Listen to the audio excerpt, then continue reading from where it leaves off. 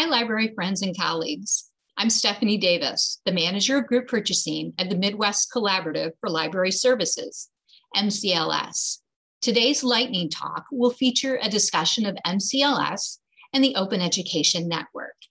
I'm pleased to announce that as of July 2021, MCLS is now a consortial member of OEN.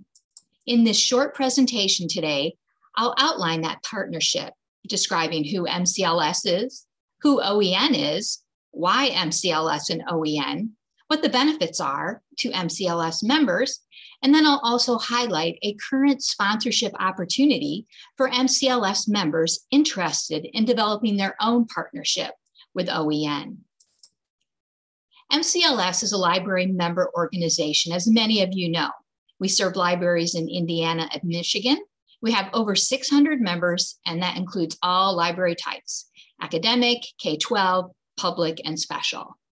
Our services are aimed at building better libraries, and we do this through consulting and training, group purchasing, MEL and MELCAT resource management, as well as a variety of special projects, including the Michigan Digital Preservation Network, the Michigan Shared Print Initiative, Reshare, and Wellbeing Literacy, an Indiana Grant Initiative program. We do a lot more too. So if you want to know more about MCLS, I would encourage you to visit our website. It's listed on the screen, mcls.org. So who is OEN, the Open Education Network?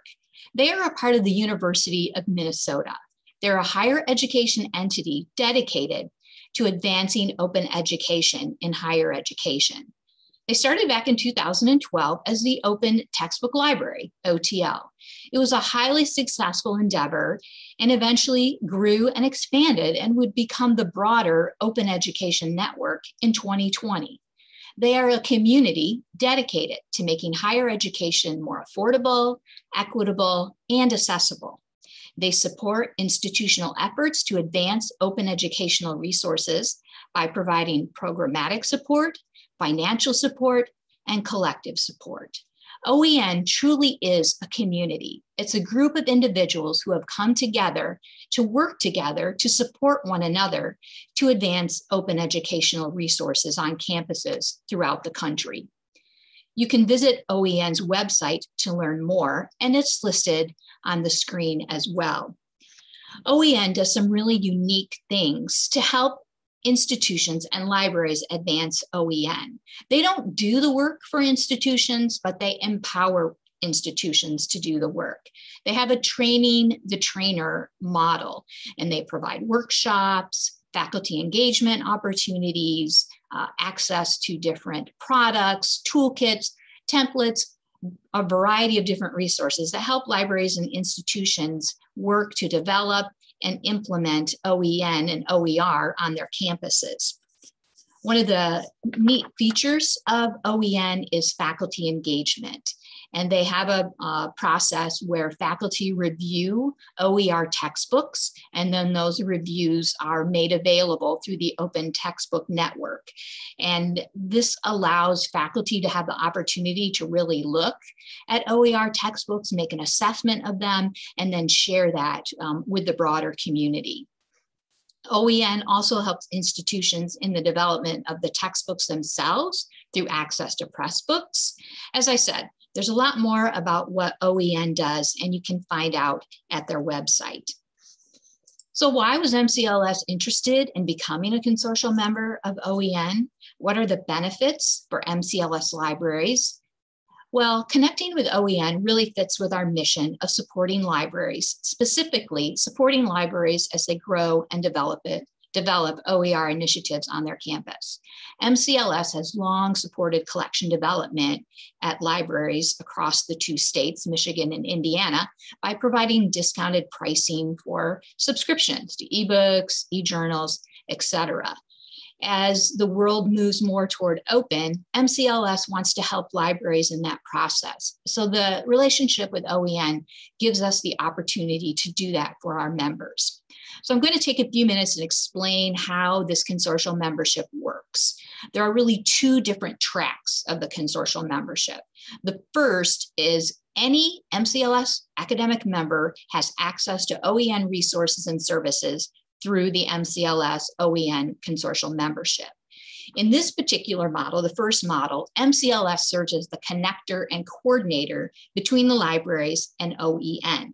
Services include things like access to the open textbook library reviews, access to OEN-led trainings and workshops on developing and implementing OER, participation in the OEN Community of Practice and Community Hub, participation in the OEN Summit and the OEN Publishing Cooperative, as well as an opportunity to utilize the OEN Pressbook Sandbox.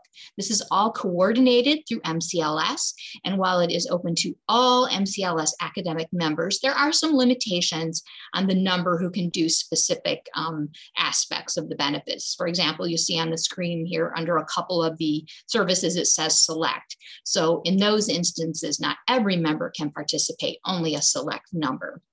But the benefits are huge, and it's a way for libraries to, um, without any cost to them, find out more about OEN and utilize the resources of OEN to help build open access on their campuses. The other option for MCLS libraries, because of our consortial membership with OEN, is for individual libraries to become OEN allied members. Now, currently, any institution can become an independent OEN allied member. Um, there is a cost for that. And if you are connected with a consortial member, like MCLS, you get a reduced rate for that allied membership. And you can see it listed on the screen there. It's $1,575 a year for any um, institution to join. If you're connected with a consortial member, the cost is $525. So it is a fairly substantial discount. And this would apply to new as well as existing members. So if your library currently belongs to OEN, when it comes time to renew, if you are an MCLS member, you can get that reduced rate. And then of course, any new MCLS member that wants to join OEN as an allied member gets that $525 yearly cost. With this membership model, allied members work directly with OEN. As you remember, I shared previously in the other model, MCLS serves as the connector. But in this model, uh, members work directly with OEN, and many of the same services, but an expanded um, set of services are available to uh, direct OEN allied members. Um, and I won't list them again. I went through them before, but um, as you can see, it's many of those same ones, plus a few more. So two models, one, work through MCLS at no cost, two, become an allied member at $525 and work directly with OEN. That's kind of the crux of it. Um, to encourage members to consider allied membership, MCLS is offering a sponsorship opportunity right now. So we are going to support 10 MCLS academic libraries who want to become an allied member in OEN, five libraries in Indiana and five in Michigan. MCLS will cover 50% of the allied membership cost for two years, and the libraries will pick up the other 50%. There's an application for this um, sponsorship and it's found on the MCLS website. I have a screenshot here that shows our website and indicates that if you go to engagement on our website, that tab, you will see a link for Open Education Network. There are some other opportunities to learn more. Um, again, I've listed the OEN website for you the MCLS webpage for the OEN consortial membership and partnership, where you can find out about the sponsorship opportunity.